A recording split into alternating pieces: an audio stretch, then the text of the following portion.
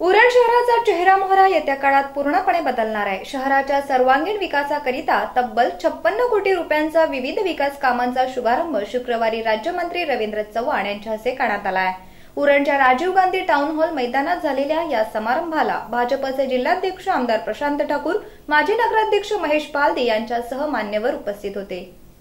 उरण नगर परिषदेच्या town hall इमारतीच्या बांधकामांचे भूमिपूजन मुख्य रस्त्यांचे कॉन्क्रिटीकरण आणि विमला तलाव उद्यानाचं सुशोभीकरण या प्रमुख कामांचा शुभारंभ शुक्रवारी मान्यवरांच्या हस्ते झाला. यावेळी भाजपचे उरण तालुकाध्यक्ष रवी भोईर नगराध्यक्ष सायली म्हात्रे उपनगराध्यक्ष जयविंद्र कोळी मुख्याधिकारी संदीप खोमणे आरोग्य सभापती यास्मिन मोहम्मद महिला व बालकल्याण सभापती प्रियंका पाटील पाणी पुरवठा सभापती नंदकुमार लांबे नियोजन व विकास समिती दमयंती म्हात्रे यांच्यासह उरणचे सर्व नगरसेवक भाजपचे पदाधिकारी कार्यकर्ते नागरिक आणि मान्यवर मोठ्या संख्येने उपस्थित होते. केंद्रात आणि राज्यात भाजपचे सरकार आल्यापासून विविध विकास कामे जोमाने होत असून विकास कामांची मालिका शहरापासून ग्रामीण भागापर्यंत पोहोचल्याचे राज्यमंत्री रवींद्र चव्हाण हे आपल्या भाषणात म्हणाले तेव्हापासून केंद्रामध्ये नरेंद्र मोदींचं सरकार आलं तेव्हापासून आजपर्यंत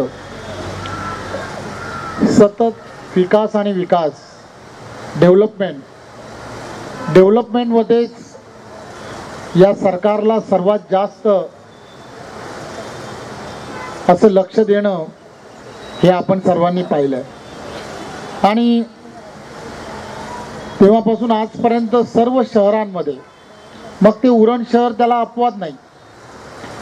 महाराष्ट्र असेल किंवा तो काश्मीरचं ते खोरं असेल या सर्व भागामध्ये विकासाची गंगा कशी जाईल यासाठीचा प्रयत्न हा सातत्याने केला गेला आहे उरण शहरात येत्या काळात अनेक सुविधा सुरू करण्यात येणार आहेत. त्यामुळे हे शहर एक चांगल्या पद्धतीने नियोजन केलेले शहर म्हणून ओळखले जाईल असे आमदार प्रशांत ठाकूर हे आपल्या भाषणात म्हणाले.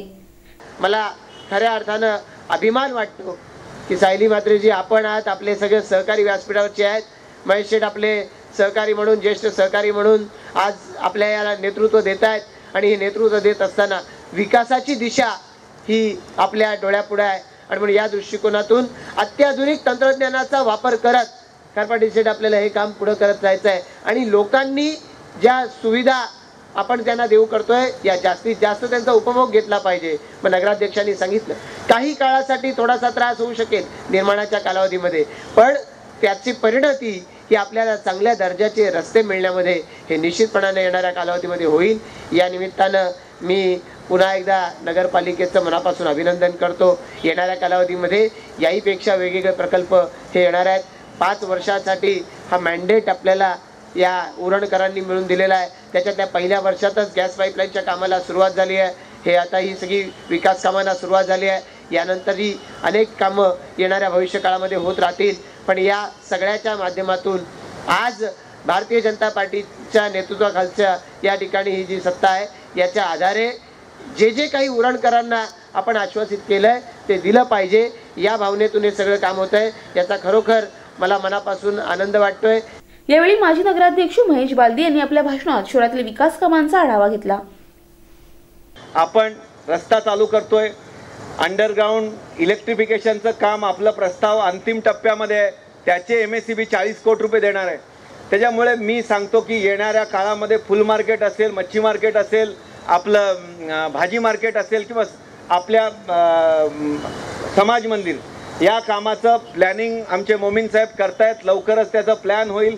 त्याच्याकरता पैशाची कमी होणार नाही याची खात्री मी या व्यासपीठावरून देतो. माननीय रवी चव्हाण साहेबांना एक शब्द मागतो की साहेब जेव्हा जेव्हा या ठिकाणी पैशाची गरज लागेल तेव्हा तेव्हा तुम्ही आमचं नेतृत्व खाला आम्हाला खात्री आहे की मुख्यमंत्री असो अर्थमंत्री असो रवी चव्हाण साहेबांना कधी कोणी नाही म्हणणार नाही. हा विश्वास मला आहे.